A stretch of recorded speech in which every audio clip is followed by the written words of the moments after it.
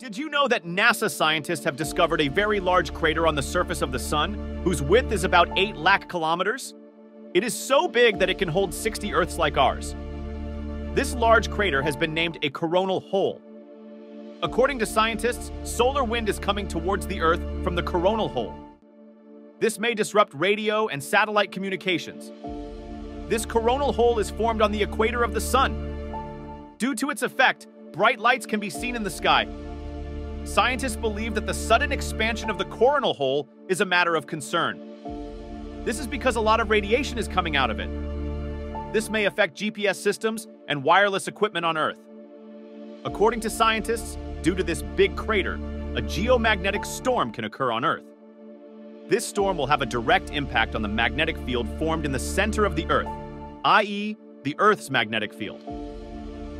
If a geomagnetic storm occurs, there may be a radio